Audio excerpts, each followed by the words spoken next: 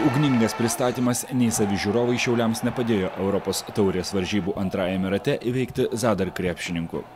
Jau pirmoje rungtynių pusėje kruatai taikliau atakavo iš toli, laimėjo kovo po krepšiu ir pirmavo 52-43. Rezultatas turbūt kalba pats už, už save 50 taškų leisti mes namuose. Aš manau, kad čia šiaulių potencialas. Jie turėtų intensyviau ir geriau žaisti antroji dalyje, antroji pusė ir aš tikiu, kad tai bus.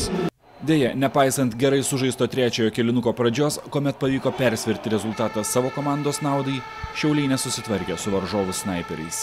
Daugiau metai iš toli, negu kad akcentuoja tokį amerikietišką žaidimą individualiai po krepšiu ar dar kažką. Tai lyg tai ruošiamės, bet per švelniai. Iš pat pradžių paleidom ten tą mažiuką, žinojom, kad jis svarbiausias žmogus ir Derekas taip nesitikėjo, jis dabar gailėsi ten, sakau, kel galvą, ką tu čia liūdai ir ne, jau viskas praeitį, darykim išvadas į priekį.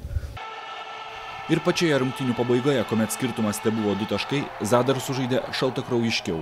Galutinis rungtynių rezultatas 91-95. Nežinau, stengiamės pradžioj, va, pradžioj pridarėm tų klaidų, tokių kvailų, daug baudų prametėm, tokiam lygiai jau jeigu baudas prameti, tai negerai. Aš patenkintas, kad mes laimėjome. Mes buvome verti pergalės, nes geriau žaidėme visas 40 minučių. Kitose grupės rungtynėse graikų Aris 81-77 palaužė Jeruzalės Hapoel. Graikai po dviejų išėlės pergalių grupės lyderiai. Hapol ir Zadar turi po vieną pergalę. Šiauliai pralaimėjo abejas rungtynes. Su grupės lyderiais šiauliečiai žais savo aikštelėje po savaitės.